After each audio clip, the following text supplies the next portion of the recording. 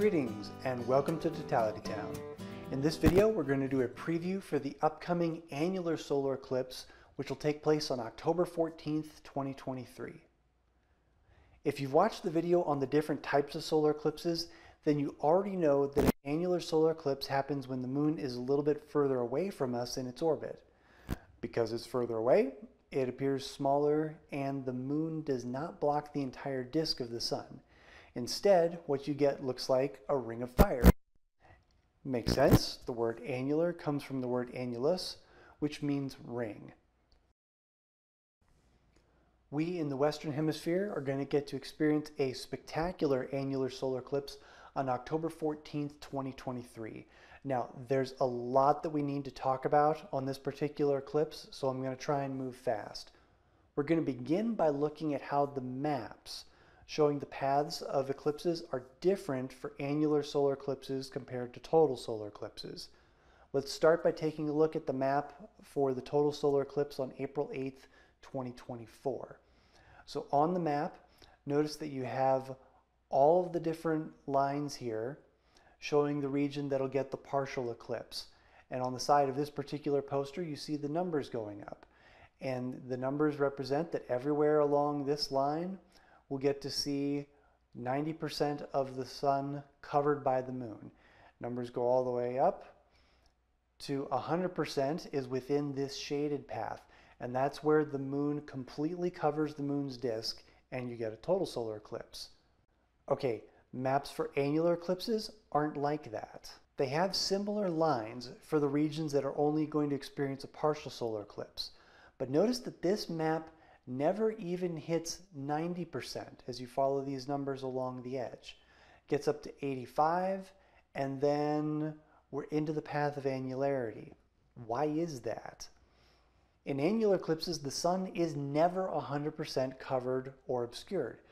During the October 14th annular solar eclipse, the most anyone will get to see the sun covered is about 89.5%.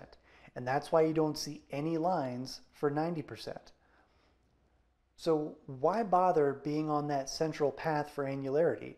Aren't you just seeing a partial solar eclipse no matter where you are?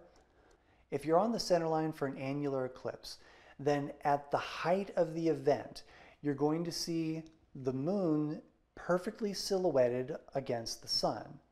The center line is also, by the way, when annularity will last the longest, just under 4 minutes and 50 seconds for 2023. The further you get from the center line, the more the moon will shift to one side. It'll still be completely in front of the sun, it's just not going to be centered. If you're just outside of the path of annularity, well, the sun will still be up to 89 point something percent obscured, but you'll never get that ring of fire effect. The further away from the path of annularity you go, the less of the sun you'll see obscured, and that's the normal pattern for partial solar eclipses. We're going to go ahead and we're going to switch maps here so that we can talk a bit more about the path of this particular annular solar eclipse. Although the sun moves from east to west in the sky during the day, that's because of the Earth's rotation, spinning on its axis. Eclipses, however, are the result of the moon's revolution, the moon traveling through its orbit. And as a result, eclipses are always going to start in the west and move towards the east through the course of the day.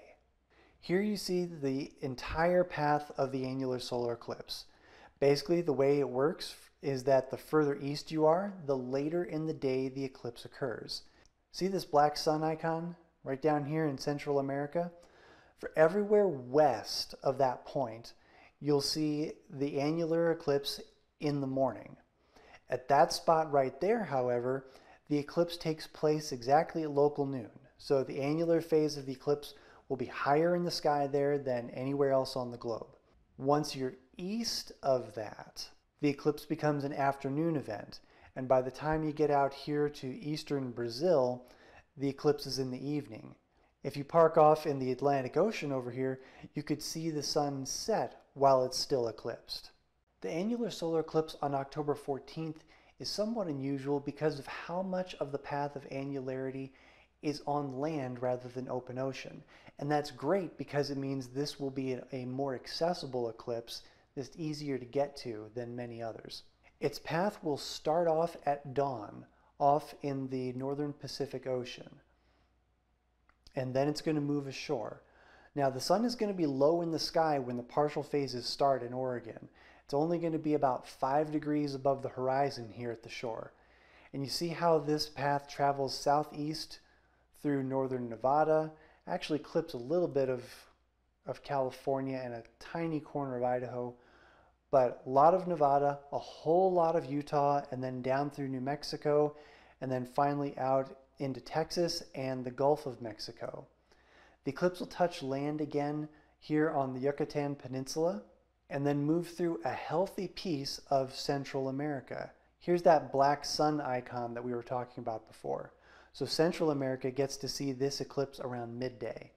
And then the path moves on to the South American continent, passing over Colombia and Brazil before ending out here in the Atlantic Ocean.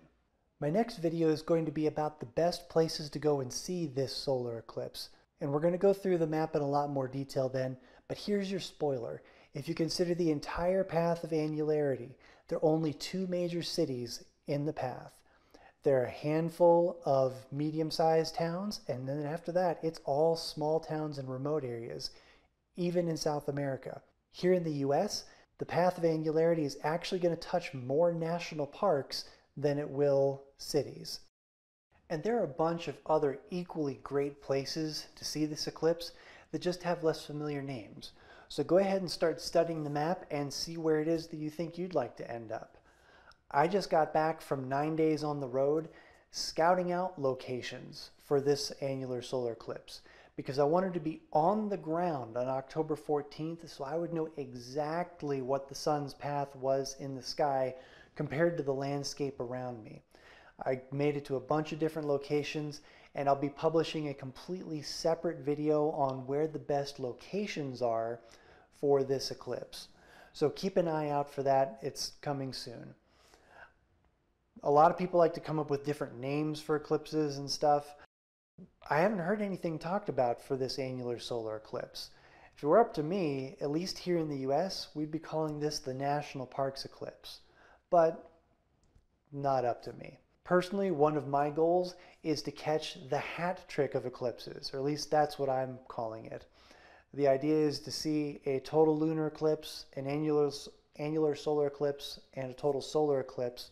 And actually, we have the opportunity to see those in back-to-back years. So there's the chance for the hat trick. I might even like have stickers made up to put on my telescope for every one of them that I get to see. Anyways, keep your eyes open for that scouting video. Okay, we've covered a lot of ground. Thank you for sticking with me through it. I hope this information was helpful and hope to see you again next time here on Totality Town.